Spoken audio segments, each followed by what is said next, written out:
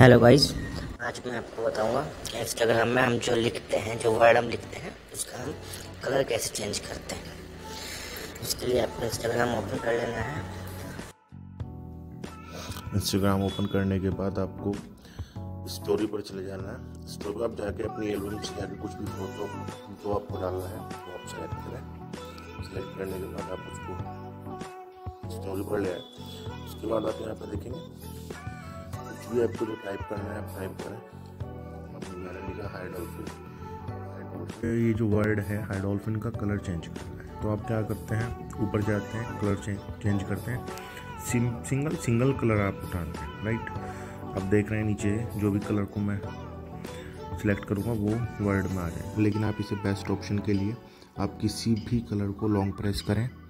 Long press करने के बाद आप इसको जहाँ पर भी, जिस कलर के ऊपर भी छोड़ेंगे, वही कलर आपके वर्ड्स में आ जाएगा। जिस भी कलर में आप छोड़ेंगे। आप इसको नेक्स्ट लें। कोई भी कलर जो आपको पसंद हो, आप छोड़, देख सकते हैं आप। आप ट्राई ज़रूर करें।